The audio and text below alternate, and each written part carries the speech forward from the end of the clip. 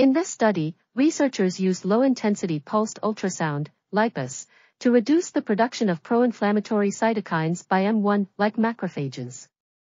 They tested various frequencies, intensities, duty cycles, and exposure times before determining the optimal conditions for decreasing cytokine levels.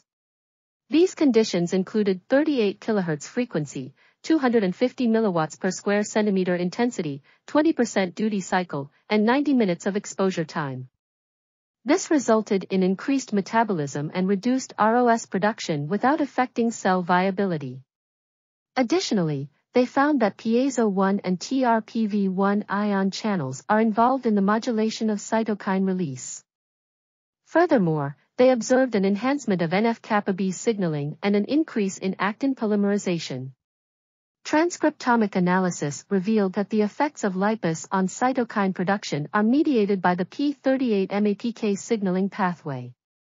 This article was authored by Francesco Iacoponi, Andrea Cafarelli, Francesco Fontana, and others. We are RTCL.TV, links in the description below.